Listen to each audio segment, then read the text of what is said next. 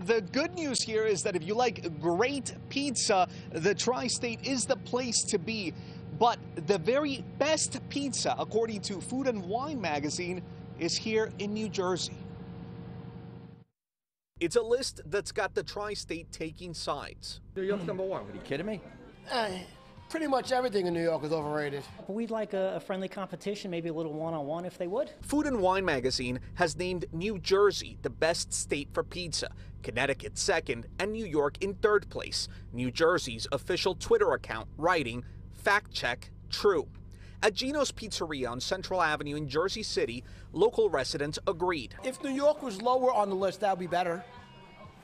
I could agree with it, but New York, if they were in 10th place, that would be better.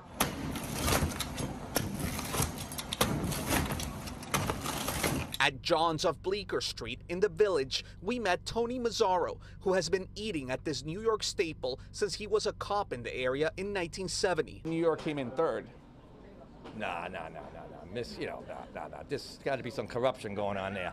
Nah, nah, nah, nah. So they said that uh, Who New, came in first? New Jersey, New Jersey? Nah, impossible, New Jersey. Who came in second? Connecticut. Get out of here. New Yorkers had some questions for the magazine that did the ranking. Food and wine, you know. And where are they located? Um, I actually, um, and who owns them? so we should investigate. Yeah, you should investigate. Okay. Who are the people? Right. You know, and how many people did they ask? Are they Italian? Ed Levine is a pizza expert who was skeptical about the list.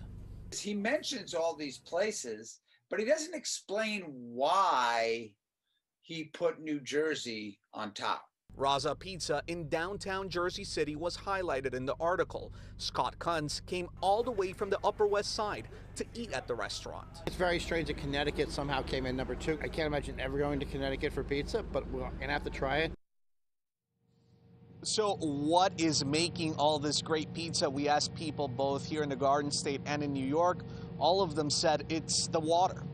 Live in downtown Jersey City, I'm Cristian Benavides, Pix 11 News.